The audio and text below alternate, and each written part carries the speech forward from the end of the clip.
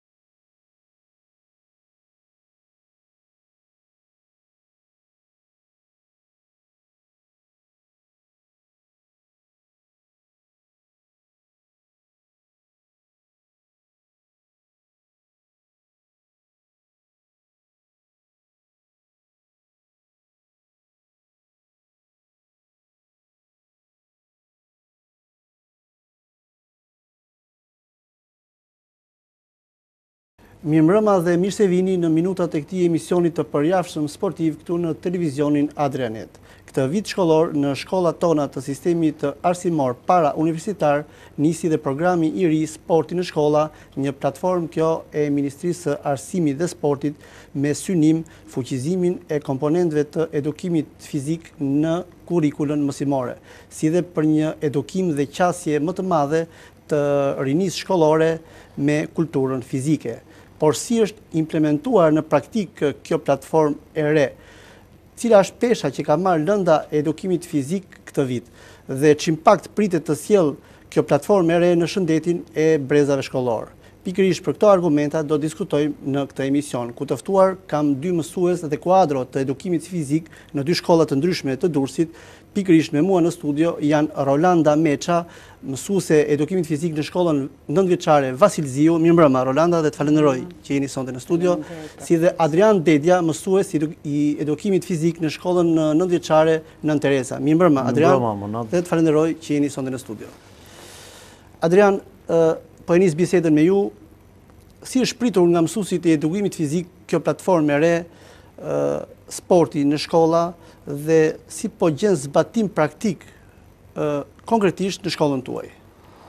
Atëherë, shiko Monant, aktivitetet fizike në shkolla dhe jashtë tyre kanë ndikime biofiziologjike në shëndetin tonë dhe të fëmijëve që ne stërvisim apo mësojmë. Natyrisht, dua të dal ke koncepti i gjerë i edukimit fizik në ditët e sotme. Kjo fjalë pra, rëndësia, pesha, kuptimi, dukuritë, konceptet bazë të këtij termi sot janë më shumë se të zhvilluara se asnjëherë tjetër. Dhe do desha të thoja që normalisht Ndryshe nga çdo herë, po punohet në mënyrë intensive me rritjen, përpunimin, zhvillimin e brezave për sa i përket të gjithë komponentëve të edukimit fizik. Duke filluar që nga faza e rritjes, zhvillimit, formimit, deri tek përfundimi i maturave apo i minimaturave të cilat ushtrojnë këtë aktivitet, domethënë tashmë jo më me dy orë në javë, por me tre orë në javë. çka do të thosha që është ideale për rritjen dhe zhvillimin sa më, sa më të shëndetshëm të, të, të brezave. Më fal, doja të bëja një po ndërhyrje për ta mbështetur më tepër fjalën e Anit. Ky ndryshim ka ardhur në një moment të duhur. Pse po them në një moment të duhur? Sepse nuk e di a e keni vënë re, domethënë, po fëmijët po përhapet shumë obeziteti. Pse po përhapet obeziteti? Sepse fëmijët janë kushtëzu shumë përpara internetit, domethonë rrinë, kalojnë një kohë shumë të gjatë në kompjuter. Një arsye tjetër, një faktor është edhe mënyra e ushqyerjes. Një faktor tjetër, domethonë që ndikon shumë tek obeziteti, Është edhe mos pjesëmarrja e këtyre fëmijëve mos marrja me aktivitet fizik.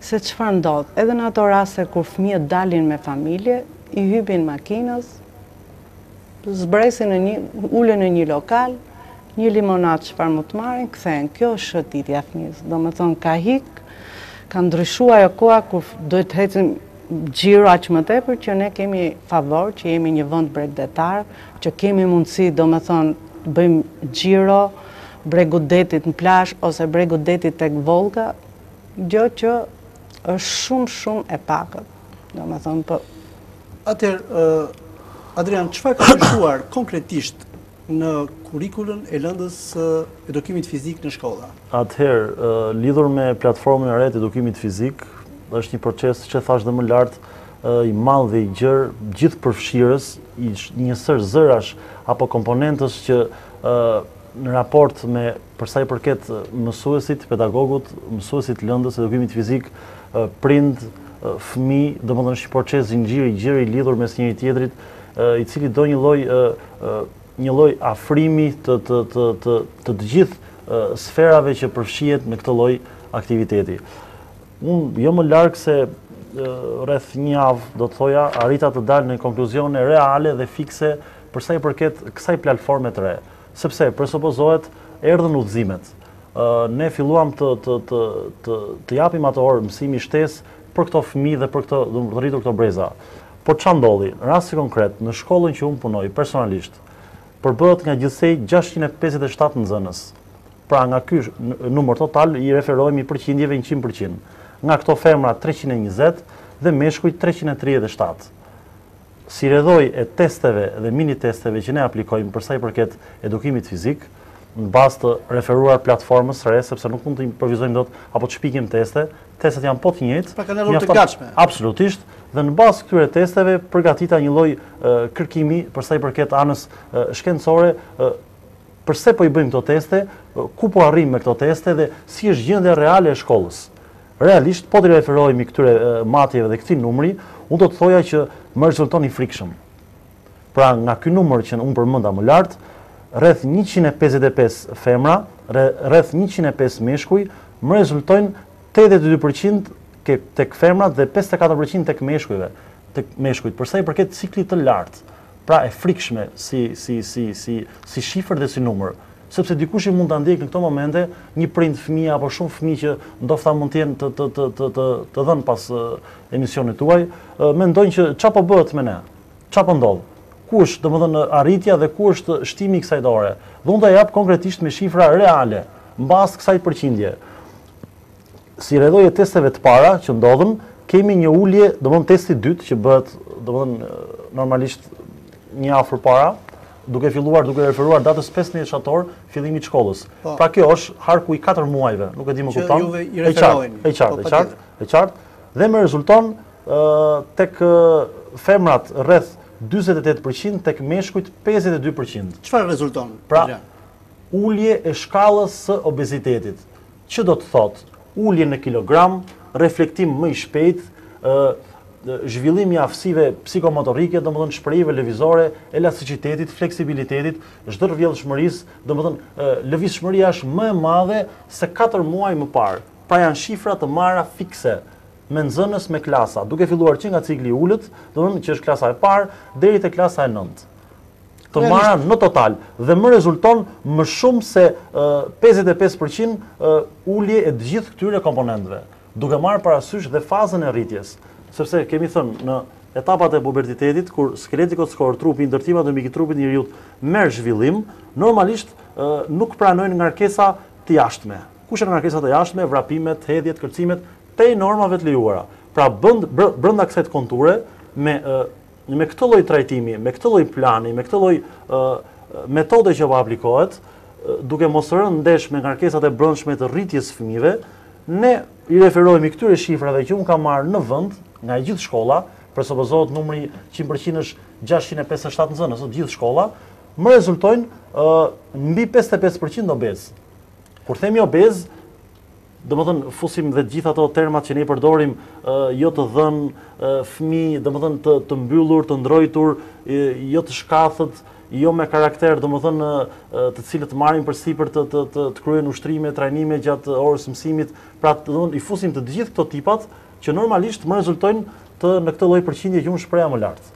Ky ka qenë një po, më fal, Ani ka qenë një studim individual, do ta vazhdosh mendimin apo ka qenë një studim le të themi i cili parashikohet në në aktivitetin e punës së një mësuesi të edukimit fizik. Shiko Monda, për të qenë i sinqertë, kjo është përgjegjësi, detyrë e secilit nga ne ta ushtrojë këtë këtë këtë test, ta punojë, ta përpunojë, të nxjerrë këto të dhëna dhe t'ia përpilojë drejtorisë së shkollës në arshivën e vet për dokumentacion apo për për t'u përballur nesër pasnesër me një me një trajtim, me një trajnim, më fal, domethënë me një me një kurs apo me një avancim më tej të kërkimeve shkencore për sa i përket lëndës tonë të edukimit fizik. Pra duke pasur shifrat reale, arrijmë të përballemi më thjesht, më lehtë me atë atë trajnim që ne mund të mund të zhvillojmë fundi edhe gjithë bashku, po, pra, jo më individual. Po, mund të ndërhyj. Patjetër. Atëherë në programin e ri të edukimit fizik, testi fizik atletik është planifikuar 3 orë në vit, në fillim të vitit, në mes të vitit dhe në fund. Dhe çfarë ka ndodh? Domethënë neve kemi bërë testin e dytë. Dhe shikojmë goxha ndryshime. Tani, ë neve kemi përpara librin ku janë të gjithë normat sipas grupmoshave. Unë nuk them që të gjithë nxënësit i kanë kap këto norma që janë përcaktuar. Ama them që nxënësit kanë thy normat, rekordet e veta që kanë vendos në fillim të vitit dhe tani në mes. Jo të gjithë, kuptohet, por që ka goxha ndryshime, shikoj goxha ndryshime dhe gjëja që më bën më shumë domthon që mu më ka surprizu si mësuse, shikoj dhe nxënësit që ne i kemi me aftësi të kufizuara në shnet, për shembull të smur me zemër, kështu, shikoj një një lloj nxitje nga ato, por një dëshirë të madhe, domethënë nuk duan më të trajtohen si të sëmurë. Domethënë duan dhe ato të marrin pjesë, pavarësisht se ne kemi atë kujdesin tonë, domethënë atë ngarkesën e, e gjithçka. Por që ky lloj testimi, domethënë, i ka nxit, ka nxit shumë dëshirën, domethënë që edhe nxënësit të përmisojnë që të shtojnë aktivitetin fizik. Domethënë kjo është ka qenë një gjë shumë efektive. Unë si mësuese, domethënë që jam dhe mësuese, kam gati 25 vjet punë, shikoj një ndryshim goxha të madh. Domethënë ka qenë Shumë i efektshëm ky vendosja e testit fizik atletik. Adrian, rezultatet që ju referuat pak më parë, realisht ishin të pritshme në këtë hark kohor për të cilët ne i referohemi?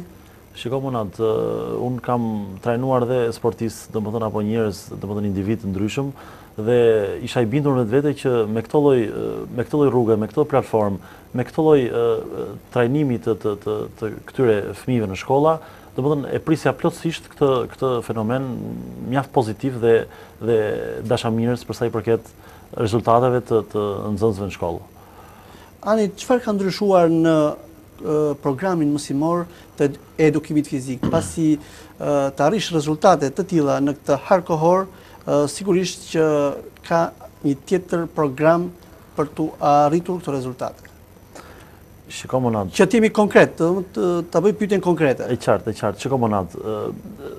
Dhe ju si prind, domethënë, apo zysh Landa, apo kushdo tjetër, domethënë, që mendon që fëmija apo nxënësi reagon në këtë mënyrë, karshi këtij aktiviteti masiv dhe të gjerë, duhet të kuptojë diçka.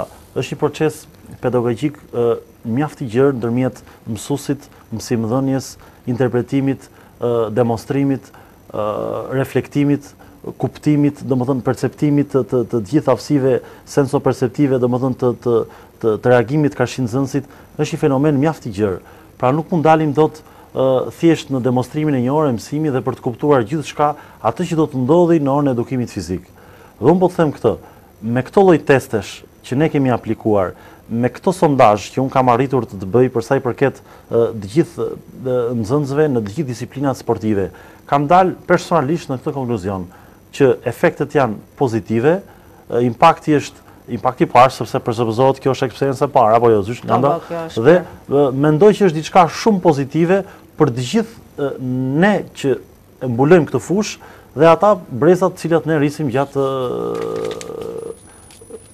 kohës në, në punë. Pra është diçka më se pozitive. Dhe unë të garantoj këtë, që fëmijët e sotëm, ata prindër që ne na ndjekin në këto momente, duhet të jenë të lumtur si asnjëherë tjetër, sepse fëmija vetë sot vjen dhe atë stërvitje apo atë mësim që ai do u detyronte t'ia bënte diku tjetër, fundja edhe kundrejt një pagese, sot ka mundësi ta marri brenda këtij territori, këtyre ambienteve të shkollës. Ambientet për mendimin tim janë të pranueshme.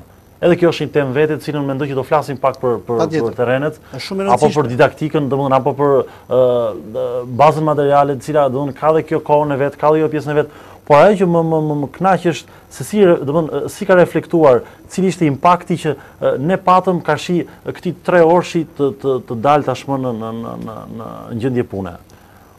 Rolanda a ka pasur a ka marrë lënda e edukimit fizik atë peshë që meriton në kurrikulën e përgjithshme të mësimdhënies? Po, patjetër që ka marrë. Patjetër. Madje dhe vetë komuniteti i prindërve, domethënë Janë ndërgjegjësu. Janë ndërgjegjësu shumë. Se po të ndërpres një sekundë vetëm. Po. A më beson që vinte nxënësi në klasë të, të gjashtë, mbaronte klasën e nëntë, dhe prindi vetë nuk kuptonte kush ishte mësusi, mësusi i edukimit fizik? Po ja ma shumë thjesht fare. Mbaronte klasën e nëntë, nuk u merrte vesh kush i jepte mësim djalit fizkulturë. Pse nuk ishte i, i pallogaritshëm, i papërfillshëm fare, do dal ke rëndësia dhe ke pjesa e Që po merr lënda e edukimit. Absolutisht po. Po. Mbaronte klasën e nëntë, nuk u dinte, domethënë, me kë ka bërë mësim. Është e vërtetë. Për ta vazhduar po. mendimin, po. Sigurisht ka marrë peshën e vet sepse ka ndryshuar çdo gjë, edhe planifikimi i orës së mësimit dhe mënyra e zhvillimit të orës së mësimit që për mu, domethënë duke fillu që nga pjesa përgatitore, që mu do më kuptojnë gjithë kolegët, domethënë ç'është pjesa përgatitore, është pjesa e nxemjes, që aty ka ndryshuar shumë, që kërkon kjo ky lloj ndryshimi i platformës së edukimit fizik kërkon edhe bazë materiale.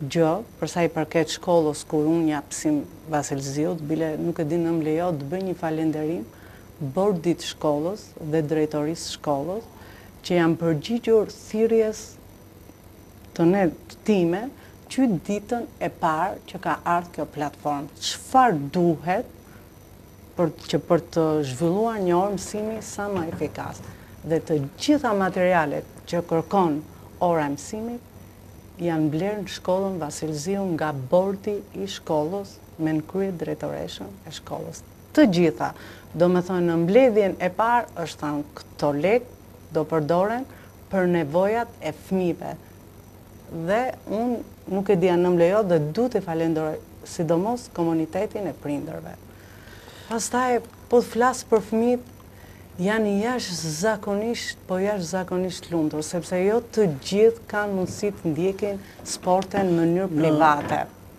Domethonë nga ana ekonomike, plus që prindit i ngarkojnë nëpër kurse, shko këtu, ndoshta dhe jashtë dëshirës tyre ndonjëherë, Por që ne nuk ngelim vetëm në atë kuadrin e orës së mësimit, ne zhvillojmë dhe shumë aktivitete me ato kushte që kemi në shkollë.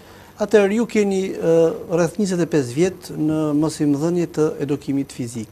Si ka ndryshuar në vite metodika e mësimdhënies në këtë lëndë, duke përfshirë edhe kohën për të cilën flasim sot? Po ka ndryshuar. Unë sapo e thashë edhe më përpara, domethënë, pjesa përgatitore ku futen shumë grupe muskujsh, domethënë, kam parasysh, nëse më kuptuat drejt, kam parasysh që nga koha ku ju filluat për herë të parë të jepni lëndën e edukimit fizik në shkolla, e gjithë këto vite për të ardhur në kohën e sotme. Pra si ka qenë edukimi fizik, mësimdhënia e kësaj lënde në kohën kur ju keni filluar para 25 vjetësh, le të themi, dhe si është sot? Tashi çdo kohë ka atë, si me thënë, të mirat edhe të këqijat e veta. Nëse do t'i referohemi këtyre kohrave, si rezulton? Tani, në këtë kohë, tashi, në këtë pikë ku kemi arrit, domethënë, se ka ndryshime, më përpara ka qenë ajo periudha e tranzicionit, që s'kishte asnjë lloj bazë materiale. Kam përshtypjen, patë më përë, zysha, kam përshtypjen atë kohë, mbizotëronte më shumë pasioni, se sa një burim i mirëfilltë shkencor për sa i përket ndërtimit fiziologjik të trupit të njeriut, anatomik, grup muskujve, domethënë anës fiziologjike, domethënë ishte më tepër kam përshtypjen, unë pak e kam, nuk e kam përjetuar. Le të themi kuadrot nuk kanë munguar. Edhe kushtet mbaj mend palestrat kanë qenë jo, kam përshtypjen, nuk e di më më. Neve nuk kemi palestra. Domethënë ne vetë e planifikojmë atë programin mësimor në bazë të kushteve të shkollës, as unë nuk kam palestër në shkollën time dhe as ai në shkollën po, e normalisht, vetë, nuk kemi dhe neve, neve i përshtatemi të kushteve të shkollës. E, kuptoj, kushteve që i.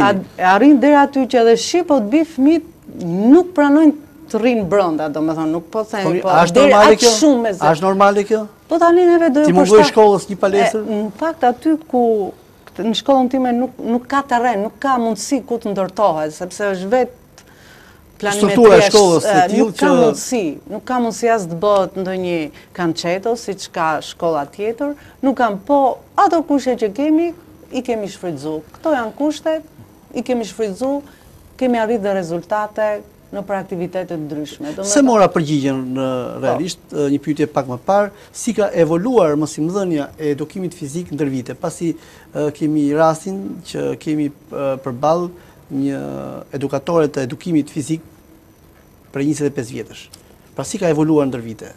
Uniforma njëherë ka qenë gjithmonë po gjithmonë nuk ka mësus besoj fizkulture që të filloj një orë mësimi që mos ta ketë nxënësin me uniformë që mos t'interesohet që në fillim të orës së mësimit për shëndetin e nxënësit se si domethënë nuk ka kjo ka qenë gjithmonë primare edhe është pa diskutim fjala e parë për shëndetin dhe prezanton temën e mësimit dhe fjala do të thush Si jeni me shnet? A ndiheni të gatshëm për të zhvilluar orën e mësimit? Po nga pikëpamja e seriozitetit të zhvillimit të orës së fizkulturës, si ka qenë ndër vite? Tashi çdo, gjë, serioziteti është personal, varet se si e ka vlerësu tjetri profesionin e vet. Kjo është personal, domethënë, më kupton, unë... Në eksperiencën tuaj, le të themi, se ju jeni goxha me eksperiencë në mësimdhënien e edukimit fizik. Mos harrojmë një detaj më fal që po të ndërpres. Në ditët e sotme aktiviteti fizik është më se i vlerësuar. Pse? Nëse do t'i referohemi të paktën një dhjetëvjeçari, askush nga ne nuk mendonte të investonte për shëndetin dhe për trupin. Pra ishin të gjithë parimi të hamë, të pimë dhe domethënë kështu konceptohej jeta. Pra ka hyrë një kulturë e re, ka hyrë një kulturë e re. Pra duke iu referuar kësaj kësaj evoluimi domethënë të të të të kalimit të viteve, të të kalimit tjetërsimit të brezave, të të të të të përparimit të gjithë metodave kërkimore shkencore, ka arritur ky lloj perfeksioni ku të gjithë kërkojnë të të të investojnë në shëndet. Pra, aktivitet fizik dhe dashje apo pa dashje, i gjithëpërfshirës në shkolla dhe jashtë shkollave. Pra kur themi jashtë shkollave presupozohet ambientet e fitnesit, ambientet e palestrave, ambientet ku, domethënë apo terrenet sportive apo terrenet ku mund të vrapohet, ku mund të ushtrohen domethënë aktivitete fizike në natyrë. Domethënë e gjithë kjo është gjithëpërfshirëse dhe reflekton edhe në ambientet e shkollave. Ku sot një nxënës, domethënë edhe pse në në në në moshë të vogël, arrin të kuptojë që pse duhet të ushtrohem. Kjo ndodh si rrjedhojë që të cilën unë e përmenda më lart, i këtij mirëbashkëbisedimi, i këtij lloj mirëmenaxhimi, i këtij lloj ndërtimi të të të raporteve mësues, prindër, nxënës, domethënë është një lloj impakti mjaft pozitiv. Pra nuk është më që... Një zinxhir marrëdhëniesh. Absolutisht. Ka pas momente, nuk e dinte njeri mësuesin e fizkulturës.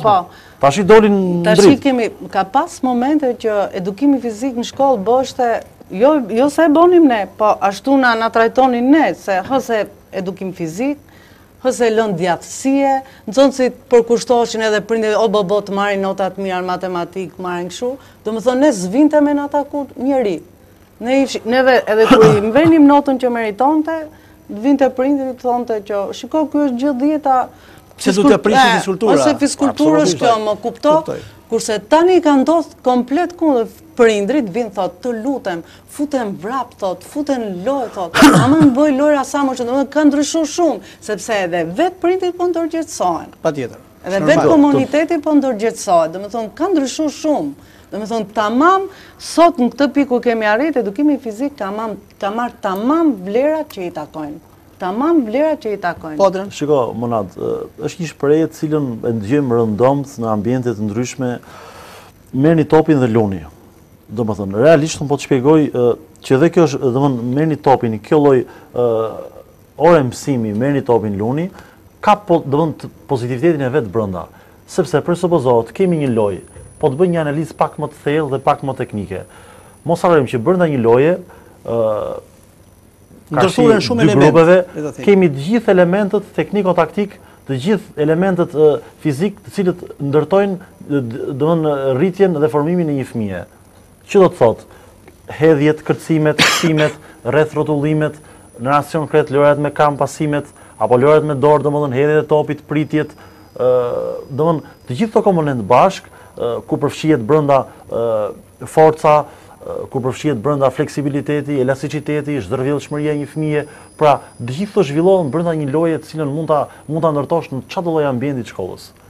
qoftë në në në ambient të mbyllur, qoftë në ambient të hapur. Pra dhe kjo fjalë merrni topin dhe luni, brenda saj po ta analizosh në në në në detaj, ka të gjitha ato komponentë, të gjitha ato cilësi pozitive që i shërbejnë fëmijëve.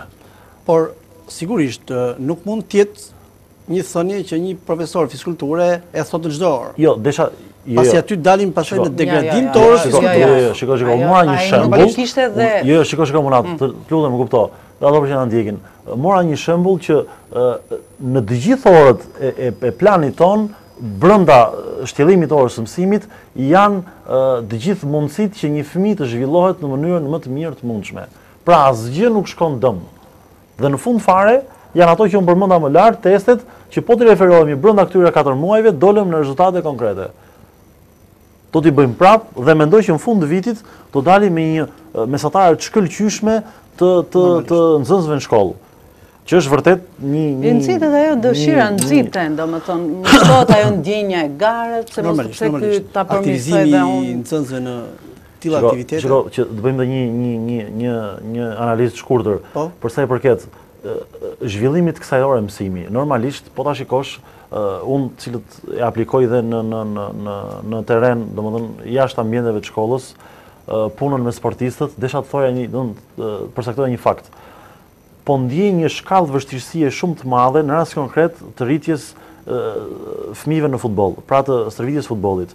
Që do të thotë, ky fëmijë mu sot më vjen nga 3 orë në javë që do të aplikojë orën e fizkulturës po, në shkollë, në shkollë, po. Dhe pa dashje apo me dashje, më duhet medoemos të ndërroj programin stërvitor që unë aplikoj në në fushë. Sepse shoh Duke pas parasysh shenjat e lodhjes, mbingarkesës, janë procese që normalisht duan shumë kujdes në trajtimin, sepse kemi të bëjmë me rritjen e një fëmije në mënyrë sa më të shëndetshme.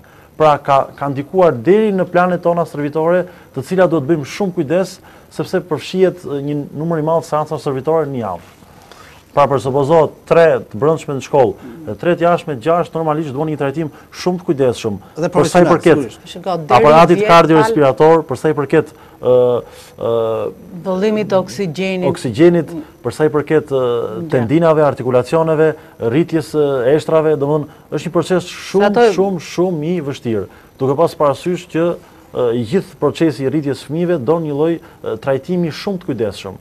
Sepse kemi thënë gjithmonë, ngarkesat e jashtme, bien ndesh me ato të brëndshmet, dhe problemi lind ke fëmija pastaj të cilat ai i mbart dhe në vitet e... e më vonshme. Për ta për ta mbështet pak atë fjalën që pyetët, si ka ndryshuar ndër vite. Unë po të them një shembull, deri para të paktën dy vjetësh kishe frikë t'i thoje fëmijëve vraponi vrap lehtë rreth fushës se dy do ngecni, domethënë vrap lehtë, vrap lehtë jo të zhvilluar, dy do ngecni, Më merret fryma, më erdh kështu që sigurisht kemi bërë edhe shumë trajnime me prindër. Unë për shembull kam bërë një trajnim me prindër, lëvizja është jetë. Domethënë për vetë prindrit, sepse po të referohemi statistikave, flas për shkollën time, ka shumë gra të papuna. Më kupton? Për vetë prindrit, domethënë se si, se jo të gjitha kanë mundësi të shkojnë nëpër palestra, atëherë ku do ta zhvillojnë? Shëtitjet në natyrë, e të tjera forma, domethënë ne kemi fillu prim me komunitetin, kemi ndërgjetësu komunitetin, e prindërve, e prindërve po. që ka ndiku dhe ke fmijt. Sot për shembull nuk ndodh që t'i them një fmije vraponi me vrap lehtë dhe mos ketë mundësi të vrapojë. Dhe mos ketë mundësi të vrapojë, po, përkundrazi do t'i bëj gjithë ushtrimet. Përkundrazi do t'i bëj, domethënë, për mu ka qenë shumë efikas, kjo vendosja e treorshit, Unë si mësuse do me thonë, po e ndjej edhe me fmi. Është e qartë. Adrian, nga eksperienca juaj, gjatë kësaj kohe, a mund të themi se tashmë brezi shkollor, pra brezi i ri shkollor, ka një qasje tjetër ndaj kulturës fizike? Dalim dot në këtë përfundim? Mendoj që po. E them këtë me bindje, e them me fakte, me argumenta të cilat i përmenda dhe më lartë të, të, të renditura në, në, në, në atë mënyrë të cilat i kemi marrë nga terreni. Pra ato që morëm në terren, sot i servirëm në këtë studio, për gjithë ata që na ndjekin në këto momente, që mendoj që është pozitive për, për, për, për fëmijët e tyre. Pra ka, ka, ka një impakt të jashtëzakonshëm. Sot t'i bëjmë një test kujdo fëmije në ambientet shkollore, për sa i përket nivelit t'intelektit, të, të, të formimit të edukimit fizik, mendoj dhe gjykoj që është në gjendje të reflektojë karshi pyetjeve që përmban mosha e tij.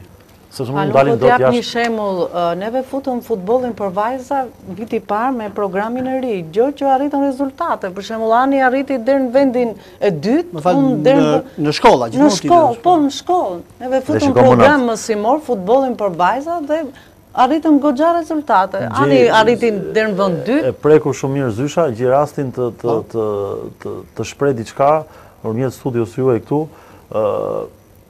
Kushdo nga ne që përfaqësojmë këtë degë, këtë lëndë, është në gjendje të kuptojë që sa proces i vështirë është gjetja e talentave në shkollë, apo atyre vajzave që kanë prirje për ta goditur topin, sepse normalisht etapat vazhdojnë dhe janë pafund. Normalisht, normalisht. Apo që kanë dëshirë të vrapojnë mbas topit. Është një proces jashtëzakonisht i vështirë. Gjetja, evidentimi, seleksionimi, njoftimi, drejtimi për sa i përket menaxhimit të të grupit apo të klasës për t'i çuar drejt një kampionati. Orientimi në hapësirë, në kohë me fushën me topin përshtatja në lojë dhe t'i çosh të arrish t'i çosh deri në finale, ma merr mendja që është është një arritje më vete.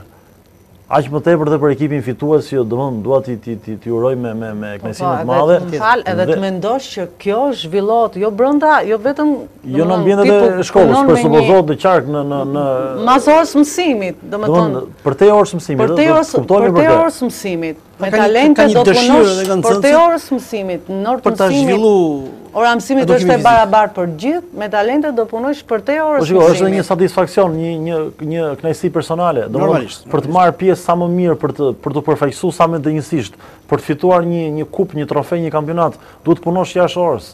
Pra, domethënë, vlen kjo për t'u përmendur. Nuk mund mjaftohesh dot, sado që përmendëm më lart 3 orë në javë. Kjo shërben për për mirëqenie, për një qasje të të. Mësimi është e barabartë për të gjithë. Po presupozohet po, për të fituar rezultate. Do një tjetër impenjim, pa pa, do një tjetër impenjim që që bëhet mas orës mësimit, bëhet ditë shtune, po kemi ardhe ditë diele. Absolutisht për të për të qenë pjesë e vërtetë Adrian. Dhe faktet tregojnë që arritëm të fitojmë, të shkojmë deri në finale. Domethënë kjo është shumë domethënë se. Për herë të parë që e futëm futbollin për vajza dhe unë shikoj dhe në shkollën time një, një, një dashuri të papame për futbollin vajzat. Domethënë nuk e di. Paska qenë një, një pasion i fshehur. Nuk shumë, shumë për vajzat, shumë. Shpresojmë që të zhvillohet dhe kjo sport në qytetin po, tonë. është kriju, është kriju ekipi i futbollit të vajzave në Durrës. Në bazë po, të zhvillimit të kampionatit të shkollave në në është kriju ekipi. Ndonëse janë hapet e para dhe rezultatet janë pak, jo, të kushedi se çfarë, po gjithsesi, ajo që është më e rëndësishme është pjesëmarrja dhe krijimi i një ekipi femrash. Dhe, Monad, të lutem më lër të të ndërpres një sekondë, përsa i përket disiplinave të ndryshme të cilat unë kam marrë në shkollën time, në sportet me dorë dhe me këmbë, përsa i përket futbollit, më duhet të them që që nga klasa 6 e deri në klasë të 9, përsa i përket dëshirës, aftësive, dëshirës për të punuar, përsa i përket djemve, më rezulton me 80%, nga klasa 6 deri në klasë të 9 dhe ke femrat fatkeqësisht një përqindje shumë shumë e vogël afro 10%. Pra, domethënë mungon dëshira, mungon pjesëmarrja e futbollit të vajzave në ambientet shkollore. Dhe në bazë të këtyre statistikave, i referohem dhe pjesëmarrjes, e cila ishte shumë e vështirë, domethënë u munduam me, me, me, me, medoemos që t'i gjenim ato vajza, të cilat përfaqësuam dhe fituam diçka. Pra, domethënë, nga hiçi arritëm në këtë pikë. Fakti ishte që unë këtë e kam të evidentuar dhe në dokumentacionin që kam përkatës për sa i përket shkollës. Po. Zbatimi Flas në raport me djemtë, sepse djemtë kanë një një një një dëshirë. Patjetër kanë një qasje tjetër në futboll. Jo, është për herë të parë, si për herë të parë që u fut në program ishte goxha me rezultat. Unë ta evidentoj me përqindje, domethënë sa këtë numri është fare i pakët. Pa diskutim. Si për herë të parë ishte goxha efikase. Adrian, po te kjo çështje, do të thoja zbatimi korrekt dhe rigoroz i strategjisë së re për sportin në shkolla është i lidhur ngushtë me terrenet sportive që gjenden në to. Atëherë, për të folur në përgjithësi dhe pastaj në veçanti në shkollat që ju përfaqësoni, me ç'terrene përballen nxënësit?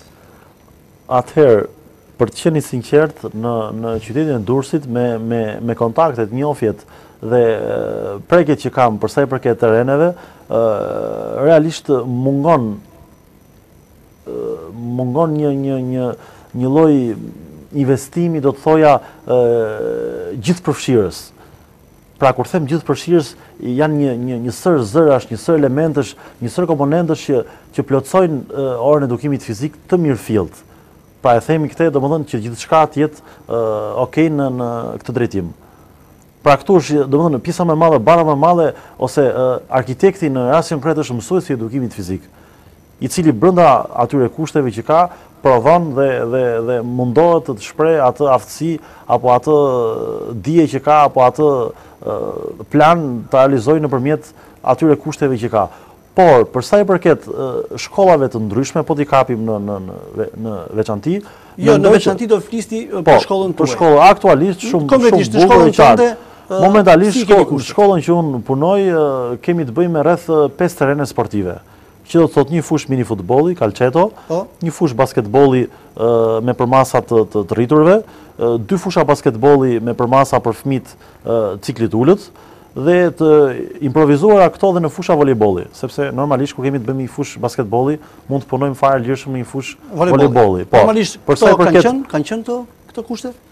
Realisht kanë qenë, me ndihmën e komunitetit, me ndihmën, domethënë, me atë dëshirën, bordin e shkollës, domethënë, të cilët edhe ata, domethënë, duhen falënderuar dhe përgëzuar për këtë me drejtoreshën në krye, mendoj që kemi bërë diçka të mirë, të paktën, të paktën, për sa i përket atij territori, po, po, po, mirëmbajtja është pjesë e jona, absolutisht detyra direkte e mësuesit të lëndës, dhe kam përshtypjen dhe nxënësit kanë qenë pro kësaj ndihme. Brenda shkollës tuaj normalisht juve ju mungojnë ambientet e një palestre, apo jo? Shiko, Monat, si e zhvillon një shkollë në në dimër? Pra, jo, unë jam partizan i pro forcës funksionale dhe po. këtë arrij ta bëj shumë mirë në ambientet të një klase e cila, domethënë, është improvizuar në palestër, Gjatë këtyre, besoj këtij muaji mund të mbyllim dhe ato detaje që për ta plotësuar në fjalën palestër të mirëfilltë, për sa i përket bazës materiale, tapeti gjimnastikor apo disa detaje që domethënë përbëjnë një një një sallë force dhe mendoj që është optimale për sa i përket fëmijëve. ku mund të zhvillohen, domethënë, një orë mësimi, sepse pra, për sa përzohet... Kushtet e vështira atmosferike jashtë, gjithmonë po, flitet për... Edhe të referohemi... Për dimrin. Po, nuk po bjen gjithë vitin shi, mendoj, ato 2-3 orë mësimi, mendoj që mund t'i punojmë aty, po, e përgjithshmja është që terrenet janë të mjaftushme.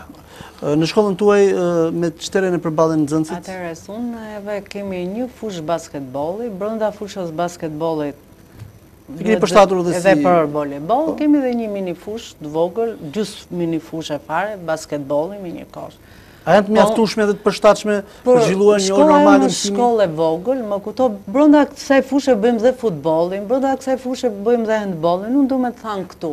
Tashi, terrenet këto janë dhe unë nuk mund të vij të them që unë nuk kam terrene për të gjitha. Unë i jam përshtat atij lloj terreni që kam, këto janë, i jam përshtat kushteve të shkollës dhe unë nuk mund të dal, nuk ka ndodhur kurrë që të dal t'i them fëmijve që shiko neve nuk kemi fushë hendbolli, unë e kam përshtat vetë fushën e hendbollit, kam bërë dy portat lëvizëse, të gjitha, domethënë do punojmë me këto terrene që kemi. Dhe kjo i ndodh dhe mësuesve të tjerë. Me këto terrene që kemi. Këto janë mundësitë. Do t'i përshtatemi terreneve. Neve kemi shumë mundësi, domethënë. Edhe sikur me një bazë materiale të vogël do ta demonstrojmë, do do ta, një mësues duhet të gjejë 100 mënyra për ta bërë orën e mësimit. Sigurisht, po problemi është që problemi është ajo ajo që po them është që të të zhvillohet një orë mësimi në kushte sa më të mira. Në shkollën time nuk ka mundësi, unë ta thashë që të ndërtohet një palestër, nuk nuk nuk ekziston, jo se nuk Nuk është investu, por po nuk ka... Jo, s'është fjala vetëm tek palestra, fjala është dhe te ambientet, te te terrenet sportive përreth. I kemi të vizuara, janë të mirëmbajtura shumë mirë, domethënë ne i bëjmë dytë... Pra të pranueshme për të... Po, janë të pranueshme. Ka qenë një projekt i bashkisë së Durrësit për rehabilitimin e terreneve sportive në katër shkolla të qytetit. Shkollat tuaja kanë qenë pjesë e këtij projekti? Normalisht? Jo, realisht shkolla në të cilën unë... Shkolla Nënë Tereza? Jo, jo, jo, jo absolutisht. As shkolla ime nuk ka qenë se nuk kanë mundësi ku ku ta bëjë. Mendoj unë, nuk kanë se para disa vitesh u munduan, domethënë që kur bënë në disa shkolla, ajo ka qenë edhe njëherë përpara disa viteve, po nuk kanë mundësi. Kështu që unë i jam përshtat kushteve që kam, dhe edhe me atë terren sportiv, Kam arrit, kam arrit rezultate, po. kam, kam fitu dhe çmime, çmime të dyta, çmime të treta, po kam fitu, pra në atë terren. Njeriu do i përshtatet atij terreni që ke, ky është terreni, Sigurisht, por jo të mos kërkojmë kushte më të mira. Se pastaj dalim te koha që kemi qenë më përpara edhe kohë të Ish diktaturës që t'i përshtatemi vëndit ku jemi. Nga ajo që unë mendoj, mungesa medoemos e bazës materiale është më tepër e theksuar se sa mungesa e terreneve. Sepse duke pas bazë materiale, mund ta ndërtosh atë orë mësimi në ato në ato ambjende që ne kemi që për mendimin tim janë të mjaftushme. Sepse presupozohet janë shkollat shumëvjeçare. Aty kanë dalë gjithë këto breza, madje dhe sportistë të ekipit kombëtar, nga shkollat të cilat unë jam tani, domethënë e vetmja gjë që mungon është baza materiale. Unë personalisht ua kam siguruar nxënësve nëpërmjet komunitetit, bordit apo dhe vetë personalisht dhe ndjehem i realizuar në këtë drejtim. Pra nuk nuk diskutohet për baza materiale. Mos them dhe që për vitin tjetër, se këtë vit po e po. Pra, domethënë, të paktën jam i ndërgjegjshëm dhe jam i qetë për sa i përket plotësimit të asaj mangësie që në shkollë mungonte. Baza materiale në rastin konkret është e gjitha. Dhe fëmijët kur dalin mendoj që ndihen të realizuar për atë orë mësimi që kanë. Qoftë lojërat me dorë, qoftë disiplina të ndryshme, sportive, atletikë, gjimnastikë, dhe gjithë... Aktivitetet që bëjmë pas orëve të mësimit. Po, absolutisht, po. Folët pak më parë... Dhe fakti tregon që gjatë gjithë këtyre viteve kemi pasuruar me traditën e shkollës domethënë në mënyrën më të mirë të mundshme. Me aktivitete, me kupa, me trofe, me të cilat kemi vazhduar punën që na lanë... Normalisht. Folët pak më parë për futjen e futbollit të femrave në shkollat tuaja. Do të thoja... Gjithë shkollat. Gjithë shkollat e qytetit. Gjithë programit. Do të thoja që po disiplinat e tjera sportive, ka qenë një projekt, mos gaboj, për futjen e disa disiplinave sportive në shkolla, siç ka qenë futbolli, shahu, çfarë është bërë në këtë drejtim? Shiko, për sa i përket aktiviteteve janë, biles madje mund të them dhe jo një fakt... Jo aktiviteteve që zhvilloni, jo. futjes së disiplinave jo, sportive, siç ka qenë Klasat sportive, pra jo, shiko, të profilizuara. Të lutem të korrigjoj diçka këtu. I gjithë kjo platformë, i gjithë kjo ndryshim i lëndës tonë, presupozohet klasat sportive. Sepse nëse do të ngrenim klasa sportive, ose do të ngrenin, mendoj që sot tendenca e fëmijëve, të paktën nga eksperienca dhe private, personale, është të e të gjithëve drejt futbollit. Më thuaj një prind që nuk don ta çojë fëmijën e vet në futboll. Pra të gjithë thonë fëmija im është talent, fëmija im do shkoj dhe kam përshtypjen do bënte një një një një anomali, një një një lloj dyndje e pazakont për sa i përket klasave sportive. Dhe me të gjithë këto aktivitete, përfshi këtu Qendrën Kulturore të Fëmijëve, përfshi këtu Federatën Shqiptare të Futbollit, sepse presupozohet kampionati i futbollit të femrave ideatore ose më mirë truri i këtij i këtij aktiviteti ishte zyra rajonale e Durrësit. e cila bashkëpunim me Federatën Shqiptare të Futbollit e realizoi këtë me të gjithë shkollat tona. Dakord? Pra, e gjitha kjo nënkupton klasat sportive. Pra, dhe rasti i kampionatit të shahut, i cili u zhvillua pranë Pallatit të Kulturës, po. absolutisht, shkolla të cilën unë përfaqësoj, arriti të fitonte vendin e parë në në në vajza. Për vajza. Pra kategoria e femrave arritëm të fitonim një kupë vendin e parë. Pra ndjehemi të realizuar dhe në këtë këtë disiplinë, sepse domethënë presupozohet shahu është një sport inteligjent dhe do një një një përkushtim të jashtëzakonshëm dhe në në në në menaxhim kohe. A ka një monitorim? Po detyra jonë të lutem, më fal, po, detyra jonë konkrete si mësues është që atë tabelë, domethënë atë fushë shahu, t'ia plotësoj nxënësve me mundësitë që kemi. Pra në shkollat tona gjenden. Neve i zhvillojmë kampionatet e shahut brenda shkollës. Dhe për pjesëmarrjen që bëmë tek Pallati i Kulturës, ne kishim bërë një seleksionim në shkollë. Pra ishin evidentuar talentet, ndërmjet njëri-tjetrit. Sepse nuk mund të merrnin dot pjesë me... Dhe pastaj sigurisht përfaqësohet me më të mirë. Ato, ato bravo shumë bukur dhe morën pjesë të cilët na përfaqësuan dhe me një kupë. Pavarësisht se nuk e kemi në program mësimor, por ne i zhvillojmë. kampionatin e shahut brenda shkollës. Edhe po të vësh re në po. kampionat shahu, nuk e di te shkolla jote, unë shikoj nxënës që ndoshta, që nuk janë shumë shumë të mirë me mësime, ama janë talent shahu. Domethënë, kjo është... Meqenëse ishim tek aktiviteti i shahut meqë ra fjala këtu, si është bashkëpunimi juaj me qendrën kulturore të fëmijëve, pasi është ajo iniciatorja e shumë aktiviteteve që bëhen në në në qytetin tonë. Vetëm vetëm në muajin janar janë bërë dy aktivitete dhe pritet aktiviteti tjetër që do të jetë kampionati i ping-pongut. Po, si është ky bashkëpunim, Adrian? Shiko domethënë, aktivitetet nga qendra kulturore e fëmijëve nuk kanë munguar. Bëhen çdo muaj, domethënë, rregullisht. Aplikohen, Por ajo që do të thoja unë, domethënë jam pak skeptik për sa i përket këtij këtij mendimi, domethënë të cilët ato mundohen të të të normalisht qendra kulturore e fëmijëve pa mësues të fizkulturës të të gjithë qarkut të Durrësit nuk do të funksiononte dhe pa pjesëmarrjen e nxënësve, sepse është puna jonë që ne punojmë në terren, të cilat ne përfaqësojmë qendrën kulturore të fëmijëve. Dhe fatkeqësisht më duhet ta them këtë nga kjo studio, të shoh një lloj një lloj vlerësimi subjektiv për sa i përket rezultateve apo nxënësve që ne marrim pjesë. Aq më tepër që për një mësues që është i detyruar të qëndrojë dhe jashtë orarit të punës atje të shkojë të marrë pjesë në ato aktivitete, po të them këtë që është një lloj zhvlerësimi i paimagjinueshëm. Personalisht nuk kam dëgjuar një mësues që të të të të, të falënderohet për Nuk kam, nuk personalisht jam i arritur në, në, në, në fushën time, nuk kam nevojë as për certifikata, as për, domethënë, fasada, as për, për, për, për asnjë lloj, por, domethënë, më, më, më vjen pak, si të thuash, ndihem jo mirë kur shoh kolegë të mi janë në prag të 20 vjeçarit, domethënë, të prag, në prag të, të, të, të provimeve të, të, të kualifikimit, dhe mendoj që ato kredite që normalisht nuk vlejnë fare që marrim, mund të, mund të vlerësohen një ditë dhe nga qendra kulturore e fëmijëve, për akreditim të këtyre mësuesve, për rezultate jo, që këto kanë.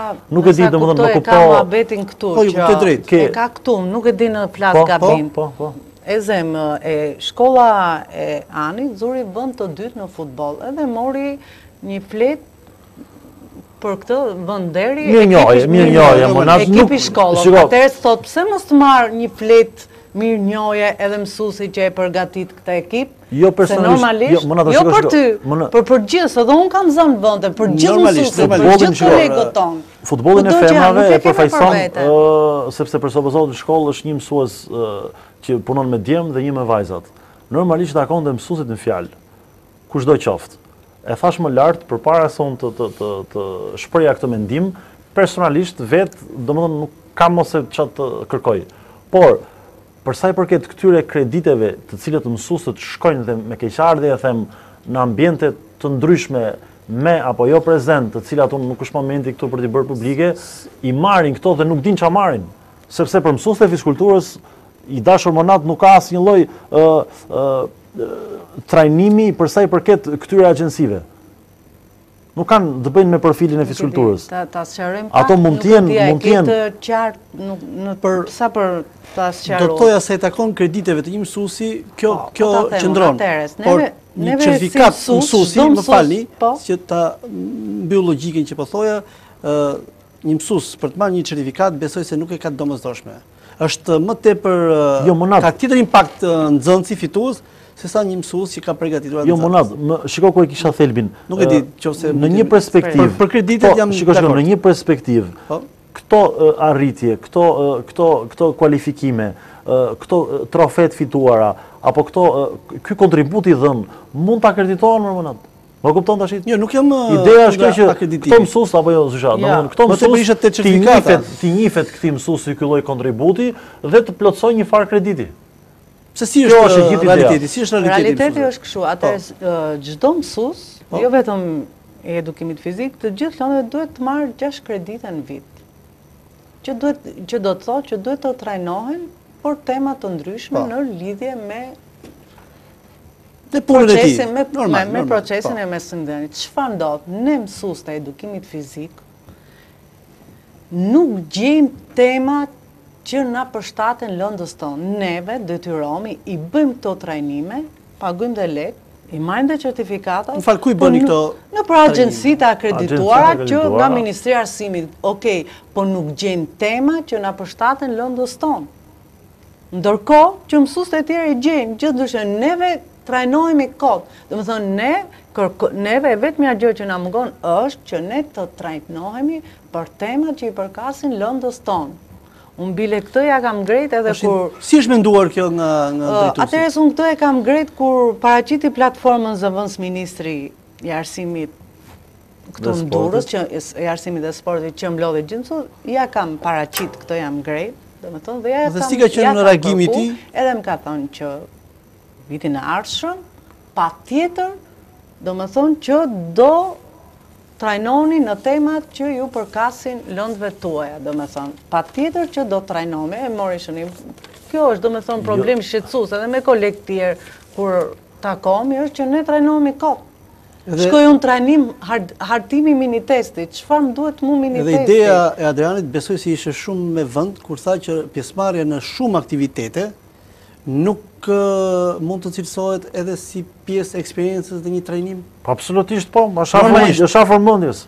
Sepse është një punë vërtet po, kolosale dhe punë në praktikë. Sot mund të akreditohen dhe të ndjehemi dhe mund të marrim ato kredite të nevojshme që na duhen në vit. Kjo është mëse, mëse normale, apo jo zysha? Sa aktivitete bën një, një, një mësus i edukimit fizik, një mësus i një lënde tjetër nuk i bën as për dy tre vjet. Ore të gjithë si ne, kolegët tanë, të gjithë ku janë, ore të gjithë ato nxënës e talentu, punohet jashtë orës mësimit, nuk mund të punojsh me nxënësin e talentu. Bronda orës mësimit janë gjithë barabartë. Normalisht, do të zhvillosh orën mësimit për gjithë. Do të zhvillosh, ama jashtë kuadrit mësimor, ka ato nxënës talentu i përgatisin këto mësus, unë, ky, gjithë kolegët tanë. Edhe normalisht ka shumë fëmij talentu. Ka fëmijë të talentum që me gjithmend kërkohet investim. Ka fëmijë të talentum. Unë kampionatin e tenisit, jo mu, po gjithve ju ka bërë përshtypje, një djalë në klasë gjashtë shkollën time, luajti tenis, arriti deri në vendin e katër, se po si luajti, pa e prek, ka lujt në kompjuter, dhe shkon e lun në fushë, arrin vend katër, domethënë, mendo çarë talenti, çarë reflekse absolute, Për herë të parë që prek raketën, sepse thjesht kishte lujt kompjuter. Ishte një lojë që e donte shumë kompjuter dhe zë vend katër. Ama ky fëmijë ku ta zhvillojë këtë sport, se në shkollë jo, privatisht është kushton shumë, se u takova me të atin, i thashë unë shiko është talent, çoje, e kam që tha nuk i përgjigjem dot, sepse është goxha i shtrenjtë kursi. Sigurisht. E në shkollë nuk ka mundësi, domethënë ky është fëmi talent, Pozitive është që zysha e ka evidentuar, e ka hequr nga kompjuteri dhe e ka servirur në fushë. Dhe kjo nuk është pak. Kjo është kjo është pozitive në këtë në këtë mes. Adrian, meqenëse jemi dhe në minutat e fundit të emisionit, pyetja e fundit ka të bëjë me faktin që terrenet sportive, atje ku janë të përshtatshme, brenda territorit të të shkollave, a mund të jenë të shfrytëzueshme edhe për komunitetin? A ka ndonjë projekt se është folur edhe për këtë pjesë? Po, po. Shiko, domethënë, unë jam... Në çfarë pike jemi, le të themi, pro, aktualisht? Pro dhe partizan i sportit për të gjithë. Normalisht, përderisa terenet janë, këto që janë, u përmendën dhe më lart, pse jo mos të jenë dhe pjesë e gjithë komunitetit prindër mësues nxënës. Megjithëse aktivitete të tilla janë zhvilluar, domethënë, madje në shkolla të ndryshme në Durrës, kujtoj këtu Naim Frashërin, e cila, domethënë, aplikon gjithmonë aktivitete të tilla, siç është Disiplina e volejbollit, prindër, mësues, të cilët do të realizohet një... Do të krijohet më shumë masivitet. Po, po, po. Duke, duke shfrytëzuar terrenet sportive. Gjithëpërfshirës, absolutisht. Në shkolla. Dhe, dhe mendoj që në, gjatë kohëve në vazhdim edhe mund të zhvillohet, mund, mund të marrë përmasa të mëdhaja. Shkolla në ndihmë komunitetit patjetër. Patjetër, dhe kjo ndodh. Në ditë shtune, zakonisht se, duke qenë se në shkollat tona bëhet mësim dhe masdite, më kupto dhe bëjmë masdite lëndën e edukimit fizik dhe fillorja, kjo ndodh shtunë diel, po e shfrytëzojnë, madje dhe fëmijët e shkollës, vijnë lujnë me po, klasa, jo, vijnë të lagjes, të jenë të organizuar, po, pra, po, jo, po, po, vijnë, domethënë, vijnë të lagjes, lujnë basketboll. Të arrijmë të bëjmë këto terrene të shfrytëzushme, sepse realisht duhet ta themi, Terrenet cilësore ne i kemi me pakicë. Jo vetëm në Durrës, por në çdo rreth të Shqipërisë mungojnë terrenet cilësore. Ky është një fakt që ne e vuajmë prej vitesh. Dhe nëse kemi terrene sportive cilësore në shkolla, pse mos i shfrytëzojmë? Shiko, ajo pjesë pastaj është edhe problemi i mirëmbajtjes sepse duke punuar, duke konsumuar, normalisht duhet vënd dhe dorë, mirëmbajtje, dhe mendoj që përsa i përket shfrytëzimit nga ana e nxënësve është tejet maksimumit. mundshëm. Dhe për sa i përket pjesëmarrjes së gjithëpërfshirjes prindërve, mësuesve, nxënësve, ndoshta ndoshta një hap tjetër për sa i përket zhvillimit masiv të sportit për gjithë, që të cilën mund edhe të të të ta ta prekim, po duke pas parasysh dhe faktorin kohë i cili na e kushtëzon këtë. Sigurisht, ndoshta Për tema të tjera dhe për zhvillimin dhe implementimin e kësaj platforme, ndoshta me kohë do të kemi rastin për ta diskutuar sërish dhe për të dalë edhe në një konkluzion edhe më të saktë nëse sa e efektshme ishte dhe a do të vazhdojë zbatimi i saj me këtë seriozitet që ka nisur. Pasi edhe kjo është pak e shumë gjëra nisin, dhe lihen përgjysmë, siç ka ndodhur edhe me raste tjera. Nuk është Shiko, unë do të përgëzoja Monën për sa i përket sensibilizimit nga këto studio me këto lloj temash kaq interesante të të gjithë opinionit, të të gjithë faktorëve, të gjithë zërave, të gjithë opinionit të cilat transmetojmë nga kjo studio. I transmetojmë idetë dhe mendimet për këtë lëndë. Sepse duke pas parasysh masivizimin maksimal, disiplinimin, që do të thotë, që ke, domethënë, po t'i referohemi prezencës fëmijës në shkollë, uniforma, etika, domethënë, mënyra e të sjellurit, janë të gjitha bashkë që të çojnë ke mirëmenaxhimi i, i një shkolle apo ë mirorientimi i një nxënësi karshi ideve të, të, të edukimit fizik, të mësimdhënies, dhe gjithëpërfshirja e këtyre në, në, në orët e mësimit. është goxha pozitive. Si pra, domethënë, është një mundësi që, domethënë, edhe ju duheni përgëzuar në veçanti për këtë lloj sensibilizimi. që i bëni nga këto studio të mrekullueshme të falenderoj qytetit. Faleminderit. Ndoshta është sepse dhe ai dhe ai jam i bindur, domethënë e them këtë me koshiencë të plotë. Prekim direkt fëmijët. Prekim direkt dhe ai prind qytetar që na ndjek në këtë moment. Domethënë kur i del fëmija për në shkollë dhe jo i rregullt, pa uniformën, uniformë pra supozohet një bluzë e bardhë e thjeshtë, dakord? Ë me atë veshje që përmbush gjithë misionin e një nxënësi shembullor për të mësuar në shkollë.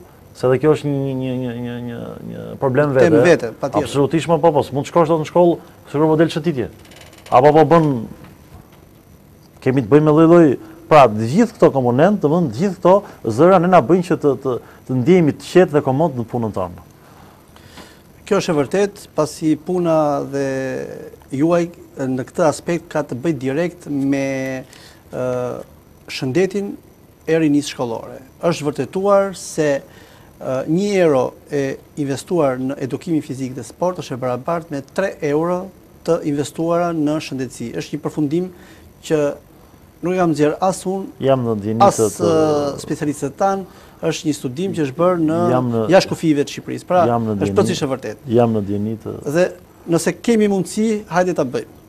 pasi nuk është pak të të largosh fëmijët nga nga kompjuteri, nga PlayStation-i apo nga nga kafenetë dhe t'i përqasim drejt sportit. Atëherë këtu kemi arritur në fund të këtij emisioni. Të nderuar teleshikues, kemi diskutuar në këtë emision për platformën e re Sporti në shkolla dhe zbatimin e tij në praktikë. Gjej rastin të falenderoj edhe një herë dy mësuesit dhe kuadrot e Edukimit Fizik, zonjën Rolanda Meçaj, faleminderit Rolanda, të falenderoj për praninë në këtë studio, si dhe Adrian Dedjan, mësues i Edukimit Fizik dhe kuadër në këtë specialitet. Faleminderit Adrian. Faleminderit Monda, ju përgëzoj dhe unë për këto tema me kaq vlerë. Të nderuar teleshikues, unë ju falenderoj për vëmendjen, bashkë do të takohemi në emisionin e radhës, deri atëherë natën e mirë.